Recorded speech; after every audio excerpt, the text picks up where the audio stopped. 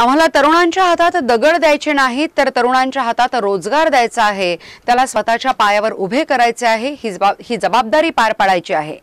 Doctor Rajendra Patil Yadravkar निवडून आल्यानंतर इकडे जाणार तिकडे जाणार अशा चर्चा काही जणांकडून सुरू आहेत.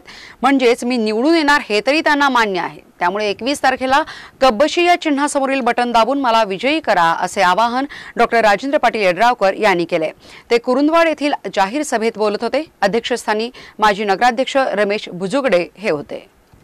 ज्या लोकांनी माझ्या नेत्याच्या दारामध्ये दगड मारला आहे तो- जो नेता माझ्या तिकिटासाठी सकाळी दहा वाजल्यापासून सायंकाळी सात वाजेपर्यंत लढत होता त्या नेत्यावरील आमची निष्ठा तुम्ही आम्हाला सांगायची गरज नाही. कालपर्यंत तुम्ही तेथे होता तेव्हा जातीयवादी नव्हता आणि तुम्हाला तो आता जातीयवादी वाटत आहे. हे वागणं बरं नाही. आम्ही इकडेच चालू केलो की तुमच्यासाठी सगळ्या भानगडी बाहेर येतील असा इशारा डॉक्टर राजेंद्र पाटील यड्रावकर यांनी दिलाय.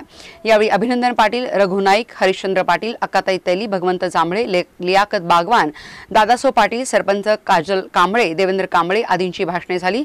स्वागत प्रास्ताविक माजी नगराध्यक्ष अप्पासाहेब जोग यांनी. तर आभार उमेश कर्नाळे यांनी मानले. सभेला महिला व पुरुषांनी मोठ्या प्रमाणात गर्दी केली होती. कालपर्यंत तुम्ही करू तिथल्या त्या पक्षात होता. त्यावेळेला तो जातीवादी पक्ष नव्हता. आणि आज म्हणजे तुम्ही आता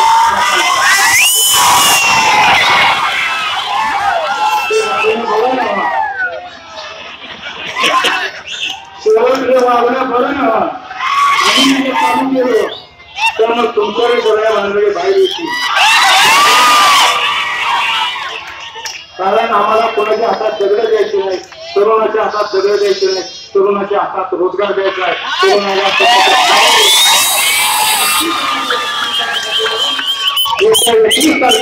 आपण सर्वांनी पक्षाच्या समोरचं बटन द्यावं मला विजयी करावं. आपण जेवढ्या मोठ्या संख्येने या ठिकाणी उपस्थित राहिला त्याबद्दल आपण